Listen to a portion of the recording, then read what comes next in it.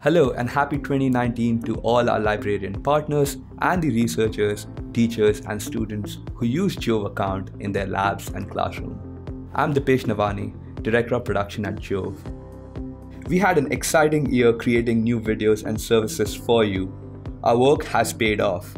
In 2018, the number of unique visitors to the Jove website jumped to almost 6 million, a 50% increase over 2017. This increase shows how our publications and content reflect the growing and varied interest of the worldwide STEM community. Now, let's discuss the Jove Journal. In 2018, we produced 1,414 videos across 13 series, bringing the total number of journal video articles to 8,242. We also reduced the average time for article publication from 8 months to 6.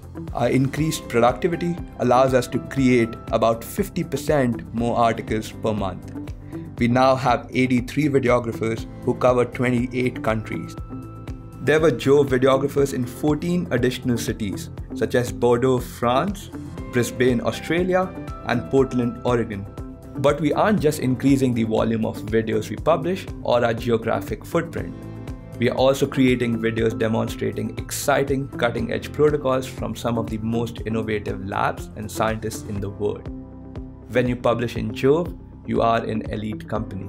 This past year, we published an article on CRISPR from the lab of Dr. George Church of Harvard and MIT.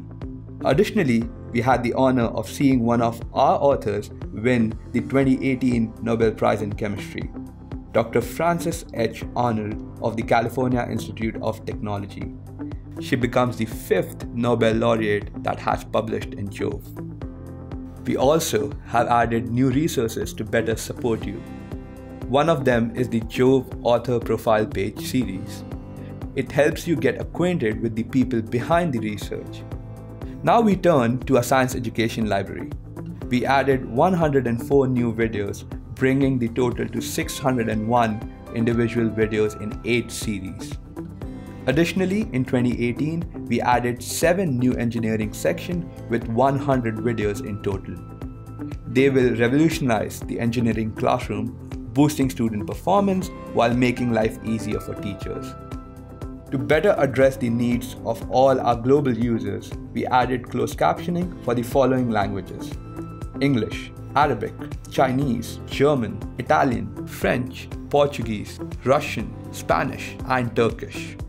To enable an active learning environment and enhance student knowledge retention, we have added customizable quizzing capabilities across all our science education videos.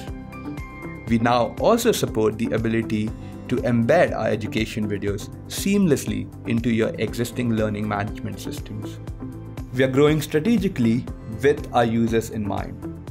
For instance, to help partner institutions get the most out of both our science education content and journal content, we added a six member customer success group we look forward to delivering even more great content and related services in 2019. So look for our New Year's preview greeting. Together, we'll change how science is done.